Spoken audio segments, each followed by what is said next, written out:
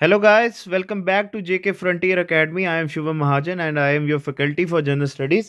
दोस्तों आज का जो टॉपिक है हमारा इंडियन पॉलिटी का एम लक्ष्मीकांत से मैंने आपके लिए टॉपिक लाया जिसको क्या कहा जाता है? एमरजेंसी प्रोविजंस दोस्तों आपको पता है हमारे देश में एमरजेंसी सिचुएशन को टैकल करने के लिए जो आपातकालीन स्थिति होती है उसके लिए तीन आर्टिकल्स आते हैं। वो आते हैं हमारे article number three hundred and fifty two three hundred and fifty six and three hundred and sixty जी हाँ इन्हीं को क्या कहा जाता है? एमरजेंसी सिचुएशंस इन इंडिया और अब बात करते हैं हमारे इंडियन कॉन्स्टिट्यूशन में एमरजेंसी प्रोविजंस कौन से पार्ट में आते हैं? They comes in the part 18 of the Indian constitution और आर्टिकल्स कौन कौन से है? 352 से लेकर 360 हमें इतना पता है कि ये तीन आर्टिकल्स हैं, पर इनका नेचर कैसा है और जब ये हमारे देश के ऊपर एप्लीकेबल होते हैं तो वो कैसे क्या क्या हमारे देश का स्ट्रक्चर चेंज हो जाता है कौन सा फेडरल स्ट्रक्चर रहता है, कौन सा यूनिटरी स्ट्रक्चर रहता है, आज हम उसी के बारे में करेंगे। ये वीडियो थोड़ी लंबी होने वाली है क्योंकि हम हर आर्टिकल को जो है डिटेल वाइज स्टडी करेंगे और आपके लिए ये यूपीएससी या हमारे पीएससी का जो भी एग्ज़ाम होता है, उसके पॉइंट ऑफ़ व्यू से आपके लिए बड़ा ज़रूरी होने वाला है। चलिए, एक चीज़ याद रखना, जब बात चलती है हमारे देश में क्या कहते हैं, उसके लिए एमरजेंसी प्रोविज़न के लिए, तब हमारे देश में जो सेंट्रल गवर्नमेंट होती है ना, वो पूरी तरह से हमारे देश की सारी अब नॉर्मल कंडीशन को क्या करती है इफ़ेक्टिवली टैकल करती है। ठीक है? चलिए अब आगे। जब एमरजेंसी होती है तो सेंट्रल गवर्नमेंट हमारे देश में सबसे ज़्यादा पावरफुल हो जाती है और स्टेट जो होती हैं, जितनी भी होती हैं, वो टोटल कंट्रोल में आ जाती है सेंटर के। तो सेंट्रल गवर्नमेंट का अपर है जो हो जाता है हमारे देश में जब एमरजेंसी लगती है। और हमारे देश का जो फेडरल स्ट्रक्चर है, ये पूरी तरह से ख़त्म हो जाता है और हमारा देश एक यूनिटेरी सिस्टम में आ जाता है। एक चीज़ याद रखना, हमारा देश का जो आर्टिकल नंबर वन है इंडियन कॉन्स्टिट्यूशन का article number one Indian constitution का कहता है India that is Bharat shall be a union of states rather than the federation इतना हमें पता है, पर India is also the blend of quasi federal structure India क्या है? इंडिया फेडरेशन भी है, यूनियन भी है, पर अकॉर्डिंग टू कॉन्स्टिट्यूशन हमारा देश क्या आता है? हमेशा यूनिटेरी नेशन आता है। अब बात करते हैं आज के दिन, जैसे आज के डेट जिस दिन आप ये वीडियो देख रहे हो, उस दिन हमारे देश का नेचर कैसा है? फेडरल नेचर है। अब आपसे ये, अगर ये पूछा जाता है कि देश का यूनिटेरी स्ट्रक्चर कब शुरू होता है फेडरल नेशन स्ट्रक्चर कब खत्म होता है, जब हमारे देश में एमरजेंसी लगती है, ठीक है?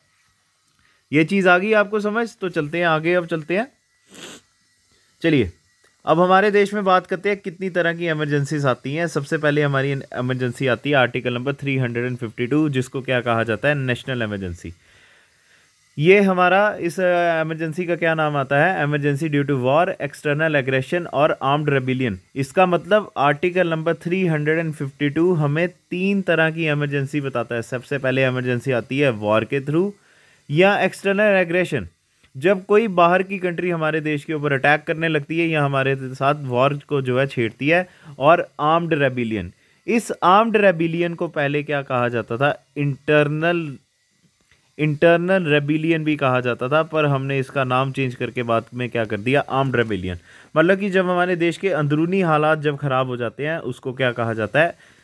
इंटरनल रेबिलियन ठीक है? कॉमनली अगर बात की जाए या पॉपुलरली अगर बात की जाए, इस एमरजेंसी को क्या कहा जाता है? नेशनल एमरजेंसी कहा जाता है।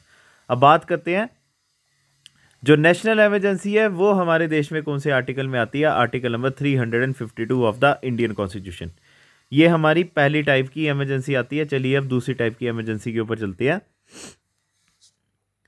जो हमारी दूसरी एमरजेंसी आती है इस कॉन्स्टिट्यूशन के हिसाब से, वो हमारी कौन सी आती है? आर्टिकल नंबर 356 में, जिसको क्या कहा जाता है? Emergency due to the failure of the constitutional machinery in the states या आर्टिकल नंबर 356 इसको क्या कहा जाता है? प्रेसिडेंट रूल एक चीज़ याद रखना, जो नेशनल एमरजेंसी होती है ना, जो नेशनल एमरजेंसी है, ये हमारे पूरे देश के लिए ठीक है? ये हमारे पूरे के पूरे इंडिया के लिए पर हमारा जो प्रेसिडेंट रूल होता है ठीक है प्रेसिडेंट रूल की अगर बात की जाए, जो हमारा आर्टिकल नंबर 356 में आता है, ये हमारी किसी स्पेसिफिक या पर्टिकुलर स्टेट के लिए होता है। ठीक है?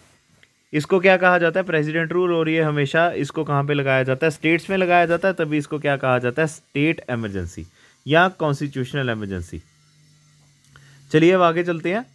थर्ड हमारा कौन सा आता है?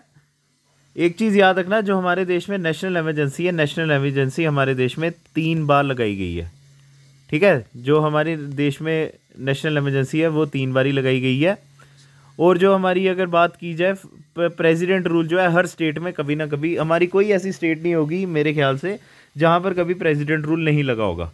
अब बात करते हैं ये वाली इमरजेंसी ये वाली इमरजेंसी हमारे देश में कभी भी नहीं लगी है, जिसको क्या कहा जाता है? फाइनेंशियल इमरजेंसी ये आर्टिकल 360 में कवर होती है और इसका पूरा नाम क्या आता है? Financial emergency due to a threat to the financial stability और द क्रेडिट ऑफ़ इंडिया जब हमारे देश में फाइनेंशियल क्राइसिस आते हैं, जब हमारे देश का कैश रिज़र्व पूरी तरह से ख़त्म हो जाता है कंसोलिडेट या कंटीजेंसी फंड से तब हमारे देश में पार्लियामेंट ऑफ़ इंडिया पूरी तरह से ऑथोराइज है क्या करने के लिए हमारे देश का, जो सरप्लस पैसा उसको यूटिलाइज करने के लिए।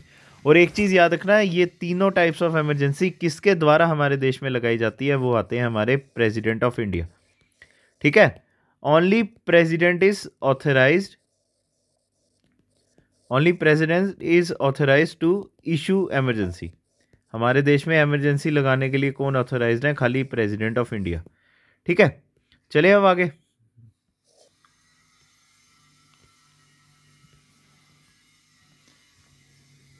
अब चलिए, अब अब इसको एमरजेंसी को सेपरेट बेसिस पे करेंगे। सबसे पहले कौन सी आती है? हमारी नेशनल एमरजेंसी आती है और उसी के बारे में हम पढ़ते हैं। नेशनल एमरजेंसी जैसे article number three hundred fifty two है प्रेसिडेंट ही खाली हमारे देश में नेशनल इमरजेंसी लगा सकते हैं जब हमारे देश की सिक्योरिटी जो है क्या हो जाती है, पूरी तरह से थ्रेटेंड हो जाती है, या तो वॉर की वजह से, या एक्सटर्नल एग्रेशन की वजह से, या आर्म्ड रेबिलियन की वजह से, जिसको पहले क्या कहा जाता है इंटरनल एमरजेंसी इंटरनल रेबिलियन भी कहा जाता था। ठीक है? एक चीज़ याद रखना प्रेसिडेंट जो है, खाली हमारे देश में एमरजेंसी नेशनल एमरजेंसी तभी नहीं लगाएँगे जब वॉर हो चुकी है। जब हमारे देश में होने वाली है ठीक है, जब पहले ही होने वाली है या हमें पूरी तरह से खतरा है किसी चीज़ से, तब हमारे देश में तब भी इमरजेंसी प्रेसिडेंट के द्वारा लगाई जा सकती है। और एक चीज़ याद रखना, जब हमारे देश में नेशनल इमरजेंसी होती है ना, तब प्रेसिडेंट ऑफ़ इंडिया किसी भी तरह के डिफरेंट प्रोक्लेमेशंस प्रोक्लेमेशंस का मतलब हुआ किसी भी तरह का रूल जो है हमारे देश में निकाल सकते हैं। जब वॉर होगा या किसी तरह का कंट्री का हमारे ऊपर अटैक होगा। ठीक है? अब बात करते हैं, ये प्रोक्लेमेशन या ये वाली जो ऑर्डर है, कि प्रेसिडेंट के पास पावर है कि वो उस समय कोई भी तरह का ऑर्डर हमारे देश में निकाल सकते हैं। ये हमने कब लगाया था ये हमने कॉन्स्टिट्यूशन में कब ऐड किया था? Thirty eighth amendment act of nineteen hundred and seventy five ठीक है? चलिए अब आगे चलते हैं। अब जो है हमारा आगे क्या कहता है? आर्टिकल थ्री फिफ्टी टू जब नेशनल इमरजेंसी हमारे देश में लगी होती है, वॉर या एक्सटर्नल एग्रेशन की वजह से इसको एक्सटर्नल इमरजेंसी कहा जाता है। और जब हमारे देश में आर्म्ड रेबिलियन होता है तो इसको क्या कहा जाता है? इंटरनल इमरजेंसी कहा जाता है। फिर चलिए आगे। दो तरह की emergency article number thirty two three fifty two cover करता है। सबसे पहले क्या आता है? जब हमारे देश में लड़ाई छिड़ जाती है दूसरी कंट्री के साथ तो वो एक्सटर्नल एमरजेंसी आ गई और जब हमारे देश के अंदर हमारे हालात बिगड़ जाते हैं, जैसे दंगे, फसाद हो जाते हैं, तब उसको क्या कहा जाता है? इंटरनल एमरजेंसी कहा जाता है। चलिए बात करते हैं। एक जो नेशनल एमरजेंसी है ना, जब शुरू में कानून हमारा बनाया गया था या जब शुरू में कॉन्स्टिट्यूशन बना था, तब जो नेशनल एमरजेंसी होती थी, वो हमारे पूरे देश में लगती थी, चाहे कोई स्टेट क्यों ना वहाँ पे इन्वॉल्व हो। ठीक है? पर एक चीज़ याद रखना, फिर हमने फोर्टी सेकेंड कॉन्स्टिट्यूशनल अमेंडमेंट किया 1976 में, जिसमें हमने किया कि प्रेसिडेंट जो है नेशनल इमरजेंसी किसी स्पेसिफिक पार्ट पे भी इसको क्या कर सकते हैं लिमिट कर सकते हैं। जैसे अगर आपको पता होगा, पंजाब में जो है, हमारे यहाँ पर नेशनल इमरजेंसी लगी थी 1975 में। ये प्रेसिडेंट ऑफ़ इंडिया के पास अब फोर्टी सेकेंड कॉन्स्टिट्यूशन अमेंडमेंट 1976 के बाद पावर आ गया है कि वो किसी भी स्टेट में नेशनल इमरजेंसी को क्या कर सकते हैं रिस्ट्रिक्ट कर सकते हैं। जैसे कोई स्टेट है, वहाँ पर बड़े ज़्यादा दंगे चल रहे हैं तो पूरे देश को बिना डिस्टर्ब किए हुए हम वहाँ पर क्या कर सकते हैं? नेशनल इमरजेंसी लगा सकते हैं। और आपको पता ही है, जब हमारे देश में नेशनल इमरजेंसी लगती है तो क्या हो जाते हैं हमारे फंडामेंटल राइट्स ठीक है? फंडामेंटल राइट्स क्या हो जाते हैं? हमसे पूरी तरह से छीन लिए जाते हैं। चलिए अब आगे चलते हैं। एक चीज़ याद रखना कॉन्स्टिट्यूशन ने इंटरनल डिस्टर्बेंस को जो है थर्ड ग्राउंड कहा था नेशनल इमरजेंसी की प्रोक्लेमेशन के लिए। तो फिर उसके बाद फोर्टी फोर्थ अमेंडमेंट 1978 में किया गया, जिसमें आर्म्ड रेबिलियन जो है इंटरनल डिस्टर्बेंस की जगह हमने ऐड कर लिया। मैंने आपको बताया था ना आर्म्ड रेबिलियन हमने पहले नहीं रखा था, पहले उसको इंटरनल डिस्टर्बेंस कहा जाता था। बात करते हैं, वो कब डाला गया था? Forty fourth constitution amendment of nineteen hundred and seventy eight अब एक चीज़ याद रखना, आगे इसके बारे में बात करते हैं। ये सबसे ज़रूरी चीज़ आती है और इसके बारे में आपने याद रखना है। जो प्रेसिडेंट जो है नेशनल इमरजेंसी कैसे लगा सकते हैं? जब उनको रिटर्न रिकमेंडेशन मिलेगी कैबिनेट के द्वारा। जो हमारी यूनियन कैबिनेट होती है, जैसे जिसमें क्या होंगे होम मिनिस्टर होंगे, ठीक है फाइनेंस मिनिस्टर होंगे, हमारे डिफेंस मिनिस्टर होंगे, हमारे फॉरेन मिनिस्टर होंगे, ठीक है, ये कुछ जो प्राइम मिनिस्ट्रीज होती हैं, जो हमारे देश में कैबिनेट बनाती है ना, खाली उनके रिटर्न रिकमेंडेशन के ऊपर ही प्रेसिडेंट ऑफ़ इंडिया क्या कर सकते हैं नेशनल इमरजेंसी लगा सकते हैं। पर एक चीज़ याद रखना 1975 में जो हमारी प्राइम मिनिस्टर इंदिरा गांधी थे, उन्होंने अपनी ही मर्ज़ी से क्या कर दी थी? नेशनल इमरजेंसी पूरे देश में लगा दी थी और उन्होंने अपनी कैबिनेट से किसी तरह का, कोई तरह का उन्होंने जो है, डिसीज़न नहीं मांगा था। तो फिर उसके बाद हमने क्या किया? 1978 में फोर्टी फोर्थ कॉन्स्टिट्यूशन अमेंडमेंट के द्वारा ही हमने क्या किया? ये अमेंडमेंट किया और बोला कि अब से क्या होगा? जो कैबिनेट है, उसके रिटर्न ऑर्डर के ऊपर ही ये हो सकता है। चलिए अब आगे। एक और चीज़ याद रखना, जो थर्टी एट्थ कॉन्स्टिट्यूशन अमेंडमेंट हुई थी ना 1975 में, उसने एक ऑर्डर लाया था कि जो नेशनल एमरजेंसी है, वो अब से क्या होगी इम्यून होगी जुडिशियल रिव्यू को। इसका मतलब क्या हुआ? कि जब भी आप हमारे देश में एमरजेंसी लगाते हो तो आप उधर सुप्रीम कोर्ट में जाके क्या कर सकते हो, उसको चैलेंज कर सकते हो। पर हमने इसको फोर्टी फोर्थ कॉन्स्टिट्यूशन अमेंडमेंट में 1978 में क्या कर दिया डिलीट कर दिया, ठीक है? पहले 38 कॉन्स्टिट्यूशन अमेंडमेंट में बोला गया कि अब से क्या होगा, जब भी इमरजेंसी लगाई जाएगी, हम उसको चैलेंज करेंगे सुप्रीम कोर्ट में। पर फोर्टी फोर्थ कॉन्स्टिट्यूशन अमेंडमेंट ने क्या किया, इसको पूरी तरह से डिलीट कर दिया, बोला कि नहीं, इसके लिए कोई भी जुडिशियल रिव्यू की ज़रूरत नहीं है। ठीक है? चलिए अब बात करते हैं, जब हमारे देश में इमरजेंसी लगती है, वो तो हमें पता है कि वो खाली प्रेसिडेंट ही ऑथोराइज है लगाने के लिए। अब यहाँ पर पार्लियामेंट का क्या रोल होता है या पार्लियामेंट का क्या कंट्रीब्यूशन है इमरजेंसी के टाइम पीरियड पे? एक चीज़ याद रखना, हमारा इंडियन कॉन्स्टिट्यूशन कहता है कि जो एमरजेंसी लगी है ना, उसको पार्लियामेंट ने अप्रूव करना ही करना दोनों हाउसेज जो हैं पार्लियामेंट के, उन्होंने एक महीने के अंदर पास करना ही करना है। ये चीज़ याद रखना प्रेसिडेंट लगाते हैं, पर उसकी ज़िम्मेदारी किसने लेनी है? पार्लियामेंट ने लेनी है, और उन्होंने पार्लियामेंट ने कितनी देर के अंदर उसकी ज़िम्मेदारी लेनी है, वो आता है एक मंथ ठीक है? एक चीज़ याद रखना, जो ओरिजिनल जब हमारा 26 जनवरी 1950 को कॉन्स्टिट्यूशन लागू हुआ था, तब वहाँ पर लिखा हुआ था कि जो हमारा प्रोक्लेमेशन है एमरजेंसी का, वो दो मंथ के अंदर पास होना चाहिए। पर इसको हमने फोर्टी फोर्थ कॉन्स्टिट्यूशन अमेंडमेंट 1978 में क्या कर दिया? रिड्यूस करके एक महीना कर दिया। अब आगे एक और चीज़ याद रखना, जब प्रोक्लेमेशन ऑफ़ नेशनल इमरजेंसी हुई है, वो लोकसभा उस समय डिजॉल्व है।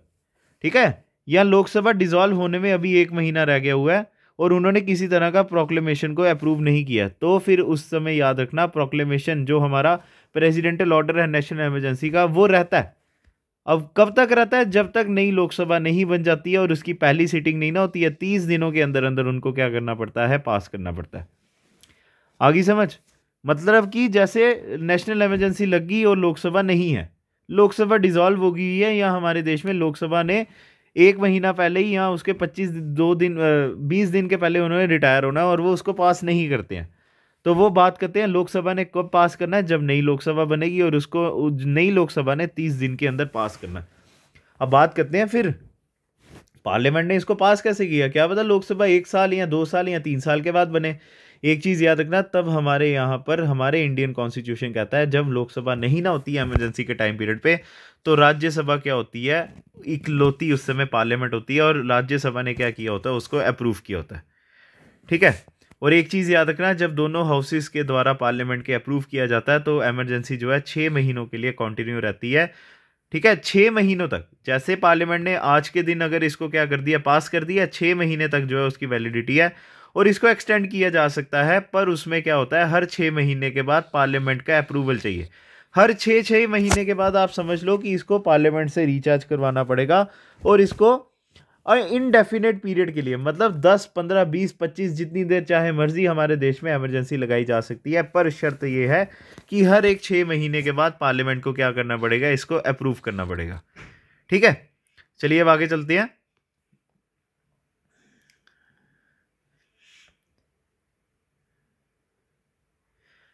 अब बात करते हैं कितनी वोटिंग होनी चाहिए। हमारे देश में पार्लियामेंट के द्वारा कितनी वोटिंग होनी चाहिए हमारे, क्या कहते हैं एमरजेंसी को अप्रूव करने के लिए।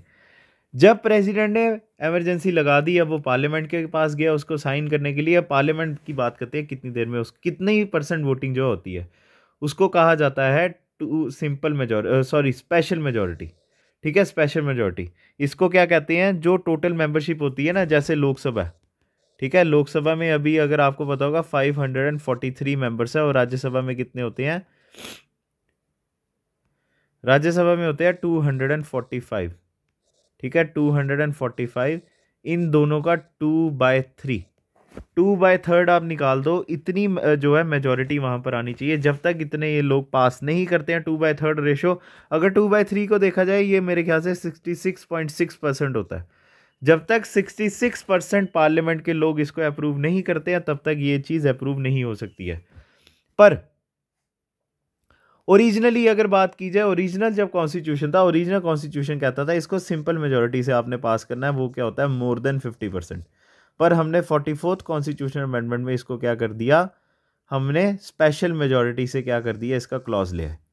ठीक है? चलिए अब बात करते हैं कि पार्लियामेंट ने जो हमारे देश में एमरजेंसी लगाई है, इसको रिवोक कैसे किया जा सकता है? हमेशा याद रखना जो एमरजेंसी है, ये कभी भी प्रेसिडेंट के द्वारा जो है रिवोक की जा सकती है। इसके लिए पार्लियामेंट का कोई वहाँ पर अप्रूवल नहीं चाहिए। ठीक है? चलिए अब आगे। अब सबसे ज़रूरी चीज़ आती है, जब हमारे देश में article number three hundred and fifty two लगता है तो उसका सबसे पहले किसके ऊपर इफ़ेक्ट होता है? वो होता है article number three hundred and sorry nineteen एक चीज़ याद रखना, जब हमारे देश में fundament article three fifty two लगता है, तब हमारे सारे फंडामेंटल राइट्स क्या होते हैं? सस्पेंड होते हैं। ठीक है? क्या होता है? फंडामेंटल राइट्स जो हैं, वो हमारे क्या हो जाते हैं? सस्पेंड हो जाते हैं।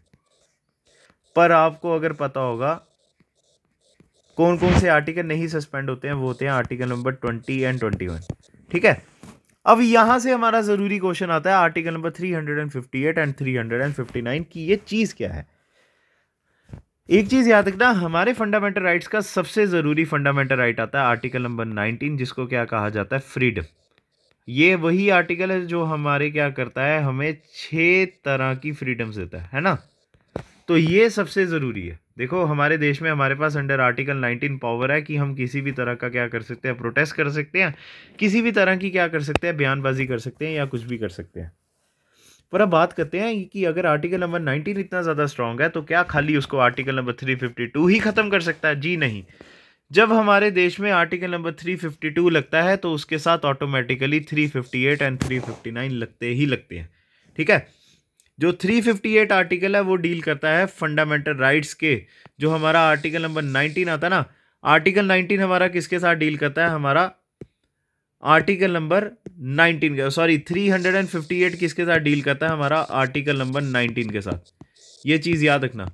मतलब कि जब 352 लगा है आर्टिकल 19 को, जो फंडामेंटल राइट है, अलग से ख़त्म करने के लिए हमने कौन सा आर्टिकल लगाया? 358 चलिए बात करते हैं 359 फिर कौन सा हुआ? 359 में दो चीज़ें आती है। एक आता है कोर्ट्स वाला मसला।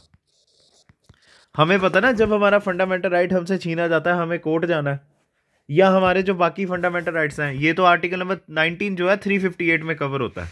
तो जो 359 है 359 कहता है कि जो बाकी हमारे आर्टिकल्स हैं, जो 20 और 21 को छोड़ दो, उसके अलावा 14 से लेकर हमारे क्या कहते हैं 18 तक हो गए। Twenty three, twenty four, twenty five, twenty six, twenty seven, twenty eight, twenty nine, thirty, ये जितने हमारे फंडामेंटल राइट्स हैं और हमारा जो थर्टी टू आर्टिकल है, ये सब कौन सस्पेंड करेंगे? ये three hundred and fifty nine article करेगा। आगे समझ इसकी। थ्री फिफ्टी एट आर्टिकल हो गया हमारा खाली नाइनटीन के लिए और उसके अलावा ट्वेंटी और ट्वेंटी वन को नाइनटीन ट्वेंटी और ट्वेंटी वन को छोड़ के हमारे जितने बाकी फंडामेंटल राइट्स बचे, उनको सस्पेंड कौन करता है? Article number three hundred and fifty eight of the Indian constitution चलिए अब आगे चलते हैं। अब बात करते हैं जो 19 आर्टिकल है, ये कैसे सस्पेंड होता है। जैसे ही 358 आर्टिकल लगता है तो हमारा आर्टिकल नंबर 19 सस्पेंड हो जाता है। उसके लिए किसी तरह का स्पेशल ऑर्डर या सेपरेट ऑर्डर लाने की आपको ज़रूरत नहीं है, ये चीज़ याद रखना। ठीक है? और एक और चीज़ याद रखना, जो फोर्टी फोर्थ कॉन्स्टिट्यूशन अमेंडमेंट है ना 1978 की, ये एक और चीज़ कहती है कि जो आर्टिकल नंबर 358 है, वो दो तरह का होता है। जो आर्टिकल नंबर 19 है ना, वो खाली दो तरह की नेशनल एमरजेंसीज में ख़त्म हो सकता है, या तो वॉर के ऊपर, या एक्सटर्नल एग्रेशन के ऊपर। एक चीज़ याद रखना, इसका मतलब जो हमारा इंटरनल रेबिलियन है, ठीक है, जो हमारा इंटरनल रेबिलियन है, इस टाइम पीरियड पे हमारे देश में आर्टिकल नंबर 19 सस्पेंड नहीं होता है, ठीक है? बस ये छोटी सी चीज़ है, इसको आपने याद रखना है। 358 जो है, खाली तभी लगेगा जब हमारे देश में वॉर या एक्सटर्नल एग्रेशन का केस होगा। जब हमारे देश में इंटरनल रेबिलियन होगा, तब आर्टिकल नंबर 19 सस्पेंड नहीं होता है। चलिए अब दूसरा आर्टिकल करते हैं article number 359 article number 359 specifically president को ऑर्डर करता है कि आप क्या कीजिए, उन चीज़ों को सस्पेंड कर दीजिए जो हमारा राइट आता है, किसका कोर्ट्स में जाने का फंडामेंटल राइट्स को इन्फोर्स करने के लिए। मतलब कि थ्री हमारा आर्टिकल नंबर जो थर्टी टू है, ये हमारा जो है एक तरह का सस्पेंड हो जाता है। ठीक है? इसका मतलब फंडामेंटल राइट्स तो सस्पेंड होते ही होते हैं। और उनके साथ साथ जो उसकी एनफोर्समेंट है, वो भी पूरी तरह से सस्पेंड हो जाती है। और हमारा जो राइट टू कॉन्स्टिट्यूशनल रेमेडी है, जो आर्टिकल नंबर थर्टी टू है, ये भी हमारा पूरी तरह से क्या हो जाता है सस्पेंड हो जाता है। ठीक है? चलिए। अगर आपको ये नहीं पता चला है या समझ नहीं आई है 358 और 359 आर्टिकल है क्या तो अभी यहाँ से हम इसकी डिस्टिंक्शन देख लेते हैं कि क्या डिफरेंस है 358 और 359 के बीच में।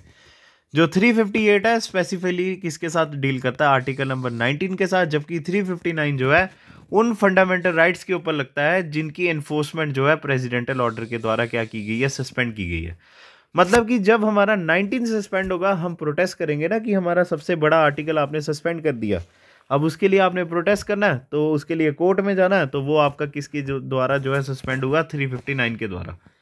अब जो 358 है, वो क्या करता है? फंडामेंटल राइट्स जो है अंडर 19 आर्टिकल को पूरी तरह से सस्पेंड कर देता है, जैसे ही इमरजेंसी लगती है। जबकि 359 जो है ऑटोमेटिकली फंडामेंटल राइट्स को सस्पेंड नहीं करता ये प्रेसिडेंट को पावर देता है कि जो इन्फोर्समेंट है फंडामेंटल राइट्स की, आप उनको क्या कर दीजिए सस्पेंड कर दीजिए। मतलब प्रेसिडेंट की चॉइस है कि वो 359 आर्टिकल लगाते हैं या नहीं लगाते हैं, पर 358 आर्टिकल उनको ऑटोमेटिकली क्या करना पड़ेगा? हमारे ऊपर लगाना पड़ेगा। चलिए अब आगे चलते हैं। 358 जो है खाली एक्सटर्नल एग्रेशन के टाइम पीरियड पे होता है। जो हमारा क्या कहते हैं वॉर एक्सटर्नल एग्रेशन होता है। जबकि हमारा जो आ, क्या कहते हैं आर्म्ड रेबिलियन है तब 358 आर्टिकल नहीं लगता। पर 359 जो है वो कैसे लगता है? जब एक्सटर्नल एमरजेंसी और इंटरनल एमरजेंसी जब दोनों होती हैं ना तब हमारे देश में लग जाती हैं। जो 358 है फंडामेंटल राइट्स खाली आर्टिकल नंबर 19 जो राइट टू फ्रीडम है, उसको खाली सस्पेंड करता है इमरजेंसी के टाइम पीरियड में, जबकि 359 जो है एनफोर्समेंट है फंडामेंटल राइट्स की, वो पूरी तरह से सस्पेंड कर देता है। ठीक है? आर्टिकल नंबर 358 जो है, सारी कंट्री के ऊपर एक्सटेंड होता है, जबकि 359 जो है, किसी कंट्री या उसके पार्ट के ऊपर एक्सटेंड होता है। ठीक है? यहीं से हमारा आर्टिकल 352 एंड होता है, ख़त्म होता है। अब हम कहाँ पे जाएँगे? आर्टिकल नंबर 356 के ऊपर। ठीक है? और चलिए आगे चलते हैं फिर। आगे बताता हूँ आपको। जो हमारा 356 और 3 360 आर्टिकल है, वो भी बहुत बड़े हैं। तो मैंने सोचा कि आपको जो है अलग अलग करवाया जाए। पहले अब 352 आर्टिकल में एक बहुत ज़रूरी चीज़ आती है कि हमारे देश में आर्टिकल नंबर 352 या नेशनल इमरजेंसी कब कब लगा? ठीक है? चलिए बात करते हैं, ये हमारे देश में कब कब इमरजेंसी लगी है। सबसे पहले लगी है 1962 में 1971 में और 1975 में। सबसे पहली हमारे देश में नेशनल इमरजेंसी लगी थी जब अक्टूबर 1962 में, कब जब हमारे साथ इंडो सीनो वॉर हुई थी। क्यों? क्योंकि उस समय नॉर्थ ईस्ट फ्रंटियर एजेंसी जिसको अरुणाचल प्रदेश कहा जाता है, उसको लेने के लिए चाइना ने हमारे ऊपर जो है अटैक किया था और ये जनवरी 1968 तक हमारे देश में लगी रही थी। इसका मतलब 1962 में जब वो लगी थी, हर छः महीने के बाद पार्लियामेंट का उनको जो है अप्रूवल मिल जाता था, तभी वो जो है इतने साल हमारे देश में लगी रही। पर एक चीज़ याद रखना है, इसके बीच में जो 1965 में जब हमने पाकिस्तान के साथ लड़ाई लड़ी थी ना, तब उसके लिए हमें कोई अलग से प्रोक्लेमेशन नहीं चाहिए थी। फिर से क्या कहते हैं एमरजेंसी लगाने के लिए। ठीक है? देखो ना, हमें पता है 1965 जो हमने 1965 और 1971 में दो बारी जो है पाकिस्तान के साथ लड़ाई लड़ी है। 1962 में पहले ही हमारे देश में एमरजेंसी लगी थी, जिसका फ़ायदा मेरे को लगता है कि पाकिस्तान ने तब उठाया था और हमारे देश के ऊपर अटैक किया था। और उस टाइम पे हमने कोई सेपरेट एमरजेंसी नहीं लगाई थी, क्योंकि वो तब तब भी हमारे देश में एप्लीकेबल थी। जो दूसरी प्रोक्लेमेशन है नेशनल इमरजेंसी की, वो लगी थी दिसंबर 1971 में, जब फिर से पाकिस्तान ने क्या किया, हमारे ऊपर अटैक किया। ठीक है? और जब ये इमरजेंसी जो है, हमारे देश में ऑपरेशनल थी तो उसके बाद थर्ड प्रोक्लेमेशन जो है इमरजेंसी की, वो कब बनी? जून 1975 में। और सेकंड और थर्ड प्रोक्लेमेशन जो है, हमने कब वापस ली थी? मार्च 1977 में। जो पहली दो प्रोक्लेमेशन है 1962 और 71 जो है, वो एक्सटर्नल एग्रेशन की वजह से हुई थी, जबकि थर्ड प्रोक्लेमेशन जो है, वो इंटरनल डिस्टर्बेंस की वजह से हुई थी। चलिए अब आगे। आपको पता ही है, जब हमारे देश में नेशनल इमरजेंसी लगी थी 1975 के टाइम पीरियड पे, तब हमारे देश में बड़ी ज़्यादा क्रिटिसिज्म हुई थी और बड़ी ज़्यादा कंट्रोवर्सीज हुई थी। तो उसके लिए क्या हुआ था? हमारे देश में लोकसभा में जब क्या कहते हैं इलेक्शंस हुए लोकसभा के 1977 में एमरजेंसी के बाद तो कांग्रेस उस समय जो है, जिसकी लीडर कौन थी उस समय इंदिरा गांधी, वो पूरी तरह से हार गए थे और जनता पार्टी क्या हुई थी, उस समय सरकार में आई थी।